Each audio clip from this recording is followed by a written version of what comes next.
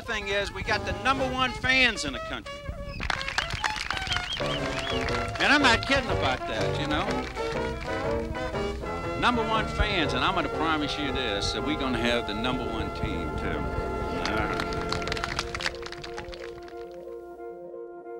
Tom Benson became front page news in New Orleans when he purchased the Saints in 1985, ensuring the NFL franchise would stay in the Crescent City.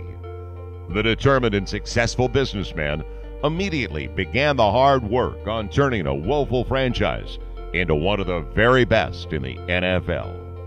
He started the process by hiring Jim Finks as general manager and Jim Mora as coach. He traded me beautifully in my 10 and a half years here. I have no complaints. He was great.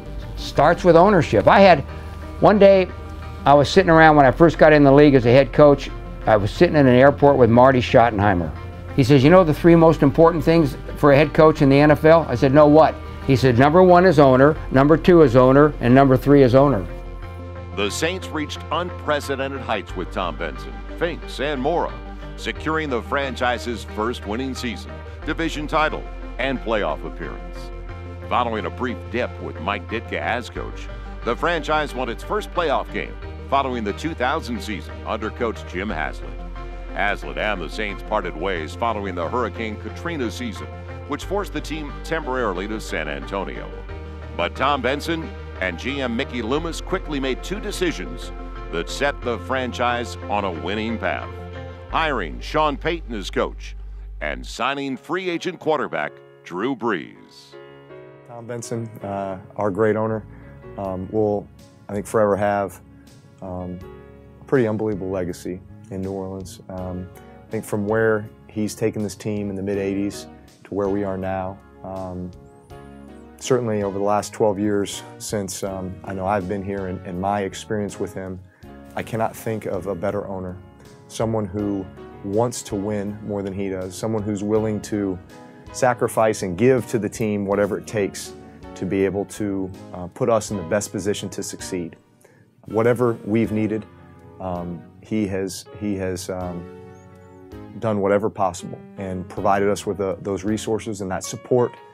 And uh, above and beyond that, he's a person for me that always has had an open door policy, you know, where I know that I can always go and talk to him, and he has given me many bits of advice um, over my career here, and I appreciate that very much, almost like a grandfatherly influence, um, in addition to, you know, the owner of our team. So, a man who I have a tremendous amount of respect for.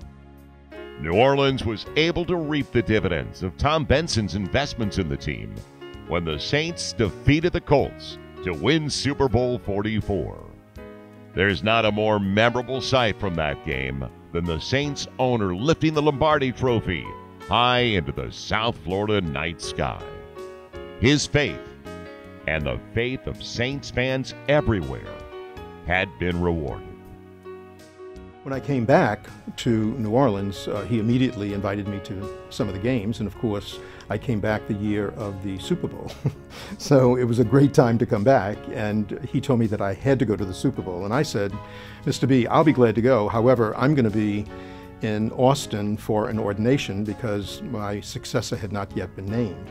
And he says, wherever you are, we'll pick you up. We'll make sure you get there. So it was a glorious time to be able to share the Super Bowl with, with him, with Tom and Gayle, and with all the great Saints fans. So he really is a friend. He's someone that we talk about faith, we talk about God. He shares his faith life with me. And I feel very privileged to be able to have heard some of the things that he said about his relationship with God and also some of the questions that he has uh, about God and about the teachings of the church. I feel very humbled to be able to be uh, a close friend of his. Tom Benson and his wife Gayle made many public donations to the Cancer Center at Ochsner that bears their name, to Team Gleason, to the Pro Football Hall of Fame. But the Bensons made countless more that very few know about. But even going further, when my father got cancer and was sick, Tom Benson personally called my mother and said, and, and called Ochsner and told them whatever whatever Hokie needs, I got it. So that to me was even more important. But when you look at the city, you can't deny what this team did to bring the city back from Katrina.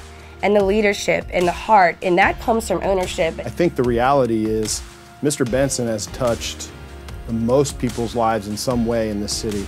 Um, you know, I was driving down River Road the other day past the Gayle and Tom Benson Cancer Wing at Ochsner Hospital. I think it has been, certainly since I've been here, and as Mr. Benson has gotten older, uh, it's important to him uh, to take care of the city um, that I think he has found, you know, so special.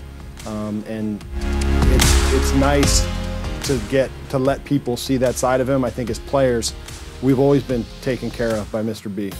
Um, we've always been a part of that, of a guy that, that is looking out for some other people. Mr. Benson was looking out for his city once again in 2012 when he bought the then Hornets from the NBA, ensuring that NBA basketball would remain in New Orleans. Mr. Benson was able to provide us with numerous things since I've been here, a world-class practice facility, uh, renovated the um, arena, Smoothie King Center, and um, you know, he, he's done anything and everything possible that he can to put us in a position to win. Um, he even let us borrow his plane to go visit Drew uh, when Drew and his wife was going through a tough time. Um, so things like that that uh, some owners probably would never do, Mr. Benson made sure that he went uh, above and beyond to make sure that we were, as players and the organization was happy.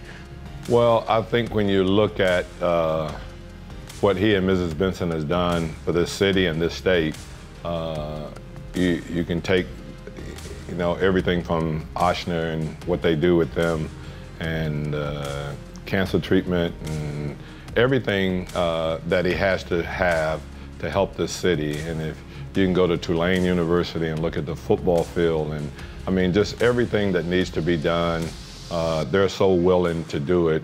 Uh, from a charitable standpoint, uh, there's, I, I, don't think there's anybody in the state could even come close uh, to doing what they've done uh, as a couple and as a family. So uh, we're lucky to have him and Mrs. B and what they do for this city and what they do for this state because I think they just add so much uh, to the things that need to be done here and to make it a better place to live.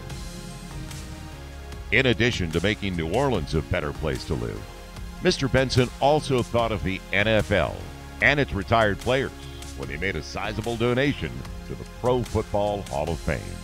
Yeah, I think he's been a very strong owner, and I think he's had, uh, you know, I think he's a guy who's led uh, a lot. I think other owners, and I know Commissioner Goodell has a lot of respect for him, and um, I think that he's, you know, done a number of things that have kind of, uh, you know, made the league more financially sound in many respects. Uh, I think he's helped in, in terms of uh, you know revenue sharing and you know the things that have happened there. Being a you know New Orleans is not a big market, and yet he's done a wonderful job of selling out the Superdome every game.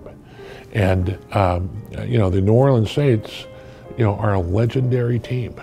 You know that you know when they go to Atlanta or they go to San Francisco, uh, you know people know about the Saints, and I, that's really come from Tom Benson.